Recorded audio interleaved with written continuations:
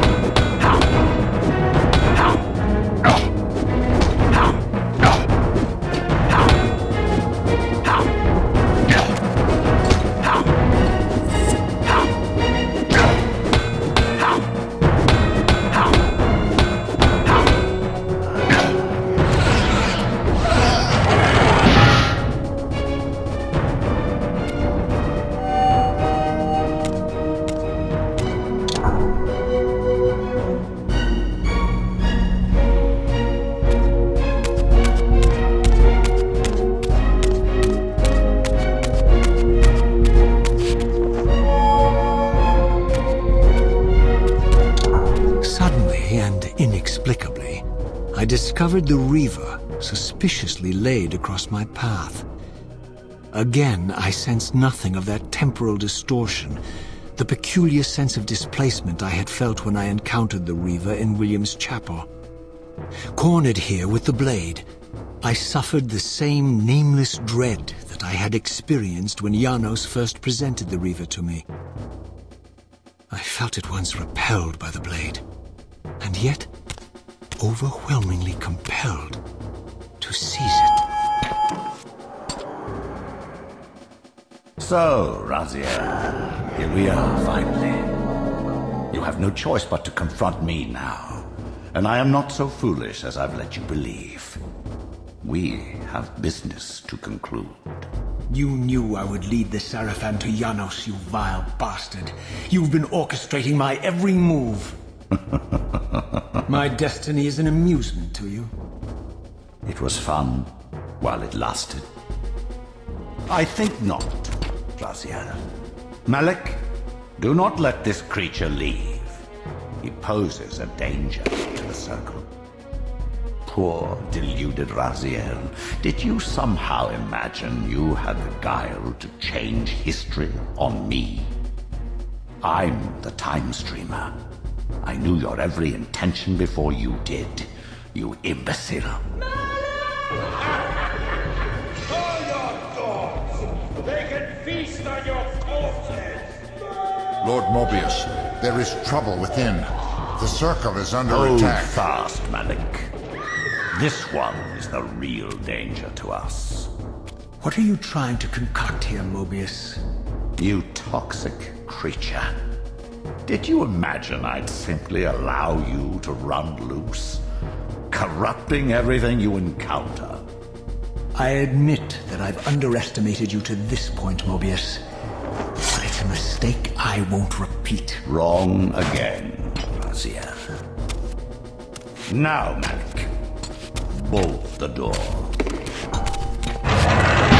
Using his staff to disable my Wraithblade, Moebius effectively disarmed me, leaving me with only one choice of weapon. And yet I confess, it was not the lack of options, but blind rage that made me take up the Reaver. In my fury, it felt as though my hand had acted of its own will. And now, that same hand clutched the hilt with unyielding strength, and I felt a constrained tingling, a remote but palpable sense of longing, as the disabled Wraithblade tried vainly to embrace its physical twin.